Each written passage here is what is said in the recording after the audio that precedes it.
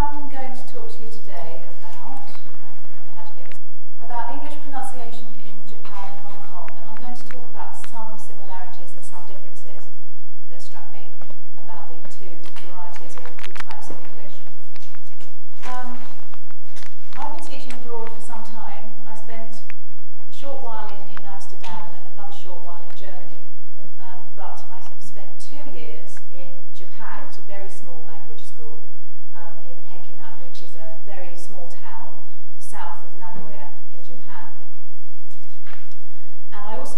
six years in Hong Kong at the Hong Kong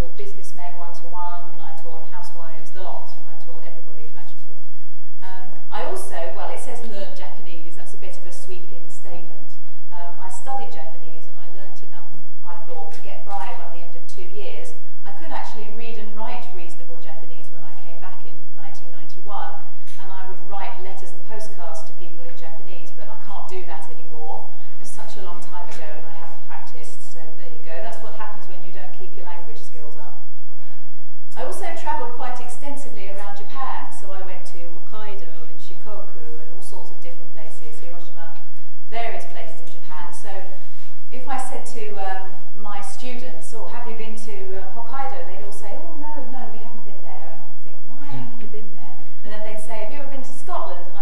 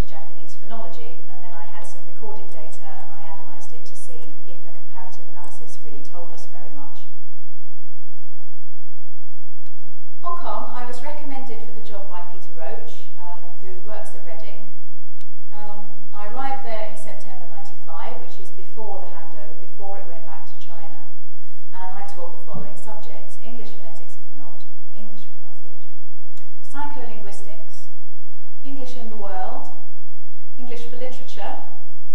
And I also taught numerous English language courses. I taught English for business communication, English through texts, uh, practical English skills, so those sorts of things. And while I was there, I researched aspects of Hong Kong English pronunciation, including sounds, intonation, rhythm, these sorts of areas. I travelled quite a lot around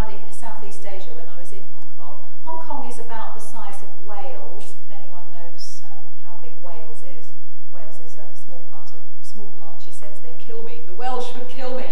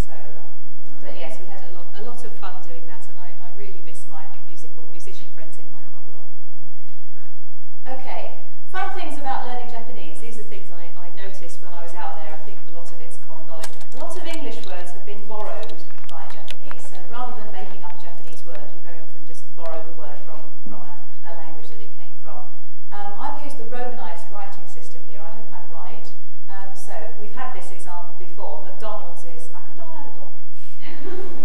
uh, lighter, a cigarette lighter is a lighter. Um, spaghetti is something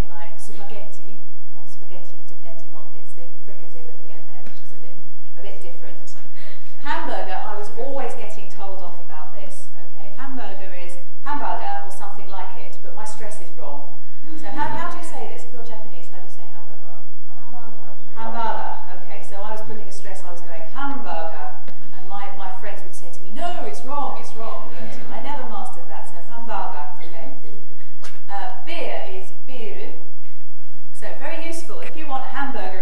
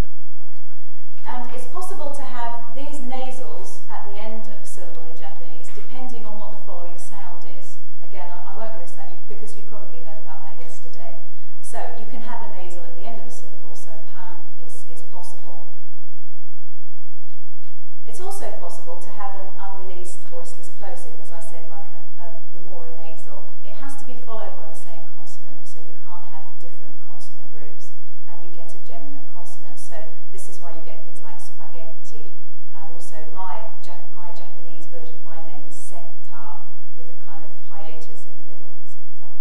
Now I said, but my name isn't Seta, it's Setter. My Japanese friend said, ah, but you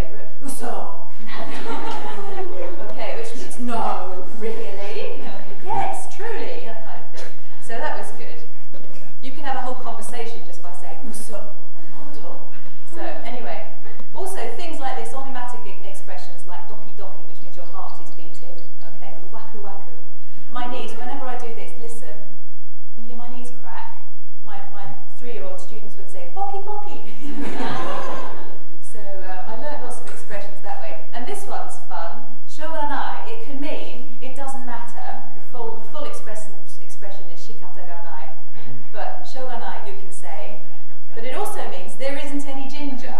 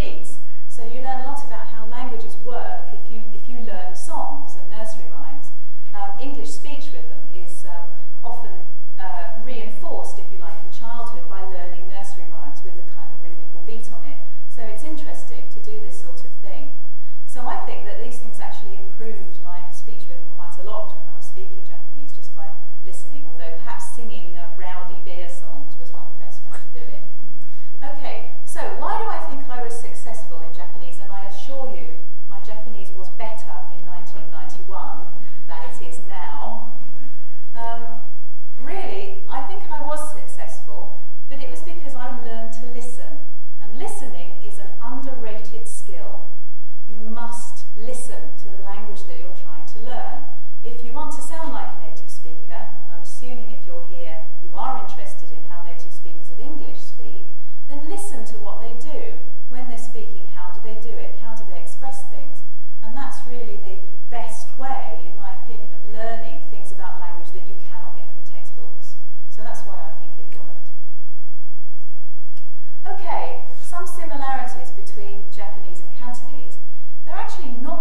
different phonotactically speaking. That means what you can have in a syllable is kind of similar, although it's not identical. Especially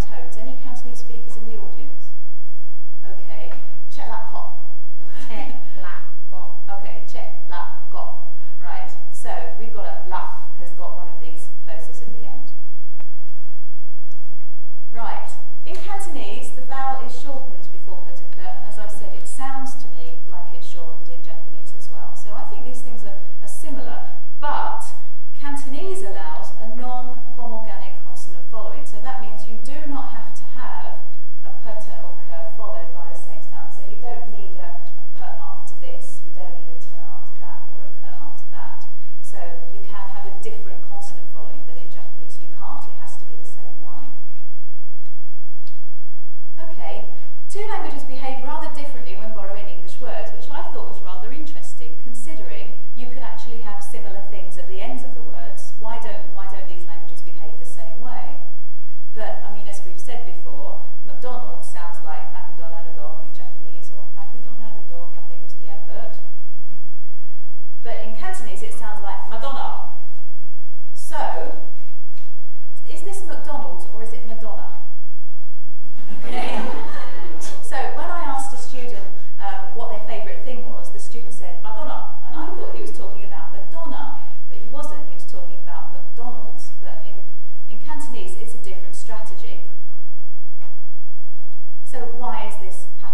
well, Japanese retains as many consonants as possible, although in McDonald's it hasn't retained the z sound at the end, but it's retained most of them, and it inserts vowels in order to deal with the fact that a consonant is there.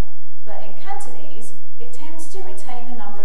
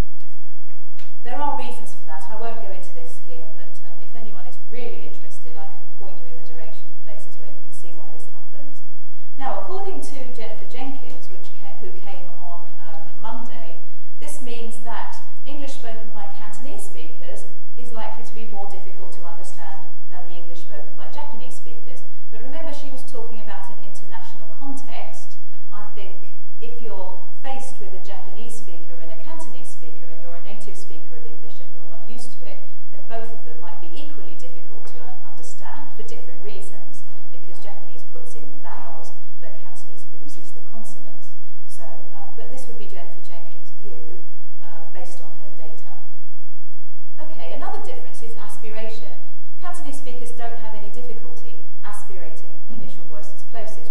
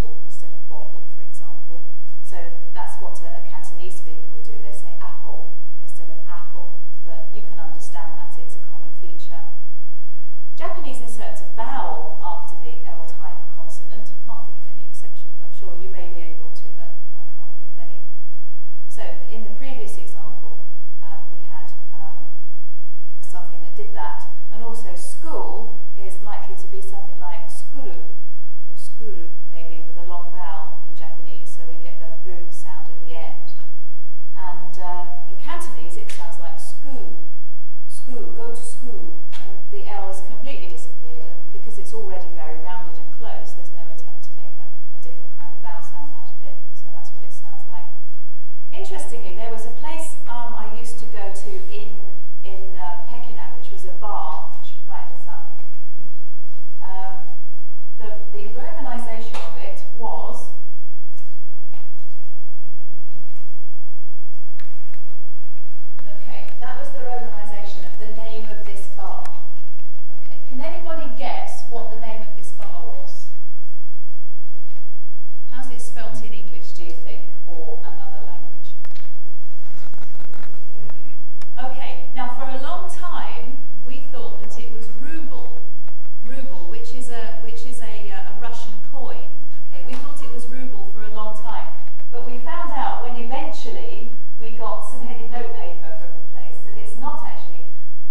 all, it was this.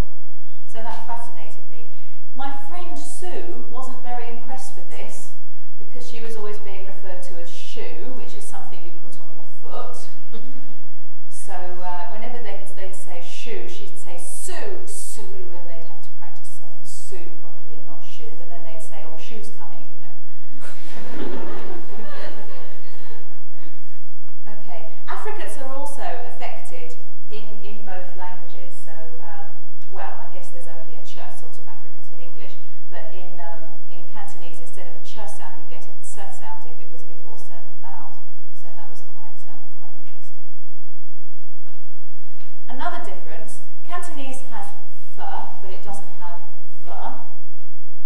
And the is regularly changed to fa. And this again happens quite commonly in London speech. So instead of saying three, a Londoner will say free, and so on.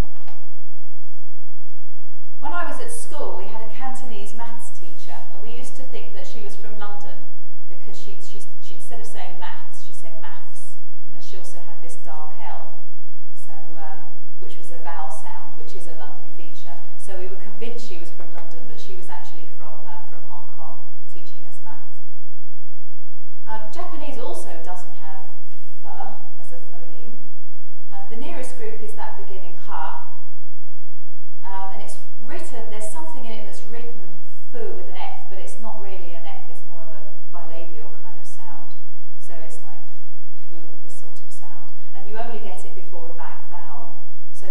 that if you have um, this sound before other vowels in English, sometimes Japanese speakers have a her sound, um, which can, can be very wrong indeed. So for example, I had to stop a child saying, I'm ho, I'm ho, because the word means something quite different in English.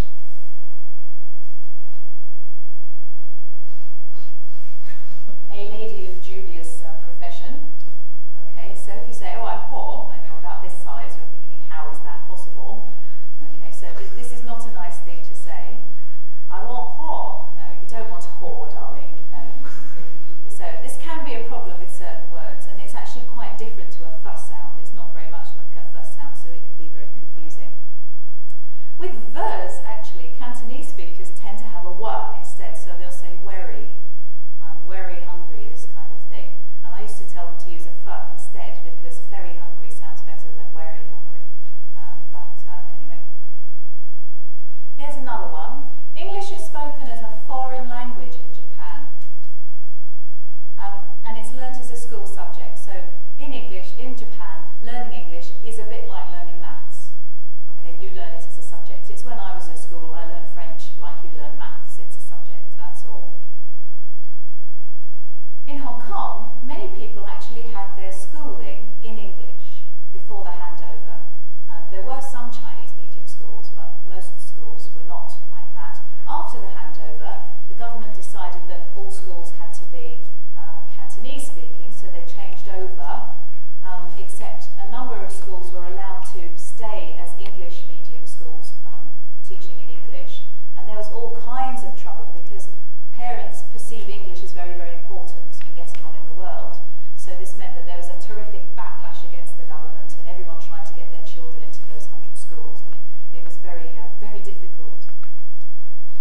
But English is not actually widely spoken among Hong Kong Chinese. So in Hong Kong, Hong Kong Chinese people speak Cantonese to each other. They don't speak English. If they do speak English, it's seen as a bit strange. Why are you speaking English to me? If you're in a class, it's a different matter, but generally speaking, people don't speak English to each other. This is unlike somewhere like Singapore, where you have groups of speakers from who speak Chinese, Indian languages, Malay, and they all speak to each other in English, so it's used quite a lot there, but in Hong Kong it isn't really. What this means is that you get a variety of English which everybody in Hong Kong can understand, but nobody outside Hong Kong can understand at all. So my students used to say, speaking in English, and I'd say, well, it doesn't sound like it to me, but everybody else would understand what they were saying. So it's not used unless to communicate with other English speakers. So people who do not speak Cantonese, um, you may want to speak English with them. And this tends to be, at the moment, it tends to be people from the USA, the UK, Australia, New Zealand, those sorts of groups. There's lots of, loads